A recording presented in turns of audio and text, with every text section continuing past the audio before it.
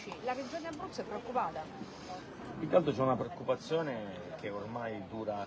da tempo, dura da mesi, sul fatto che eh, naturalmente si sono verificati degli episodi che eh, vanno approfonditi come giusto che sia. So che già al lavoro l'ARTA per verificare eventuali agenti inquinanti nell'acqua, so che è al lavoro già l'ASL veterinaria per valutare le cause della morte dei pesci che si sono riscontrate negli ultimi giorni. Sicuramente ci sono diversi aspetti da dover analizzare. Uno, il fatto che se questa situazione di moria di pesci si è verificata per agenti diciamo, tossici, vuol dire che eh, c'è eh, da fare un approfondimento e quindi verrà sicuramente fatto dalle autorità competenti con eh, l'occhio attento naturalmente delle istituzioni e del sottoscritto che come ha detto vigilerà su quello che accadrà. Eh, Dall'altra parte se invece non dovesse esserci, ce lo auguriamo, agenti tossici o, o eh, cariche batteriche notevoli che hanno contribuito alla moria dei pesci vuol dire che c'è un ristagno d'acqua, quindi il problema che mi sembra anche eh, visibile, sicuramente questo lo possiamo valutare anche, lo può valutare anche un occhio non esperto, cioè il problema della manutenzione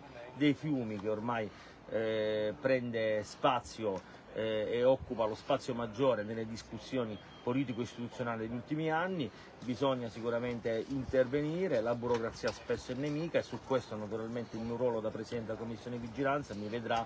eh, attento a eh, cercare di spintonare in avanti le soluzioni che devono arrivare per forza, perché qui non si tratta di inventarsi chissà che cosa, ma di fare una semplice manutenzione per garantire il decorso minimo fluviale che garantisce anche vitalità alle specie viventi che ci sono in acqua, ma soprattutto vuol dire acqua e ambiente salubre anche per le persone che in questi giorni godono del nostro bel mare, che non possiamo soltanto descriverlo bello a parole, ma anche nei fatti deve essere eh, bello e sano. Servono fondi, la Regione si deve impegnare? Io più che altro dico che eh, più che eh, servono fondi, che sappiamo essere cosa certa, ma sappiamo anche che negli ultimi mesi e anni i fondi spesi sono tantissimi, probabilmente serve una programmazione seria, eh, lo diciamo da tempo, una programmazione, un'organizzazione seria perché sicuramente questa è una priorità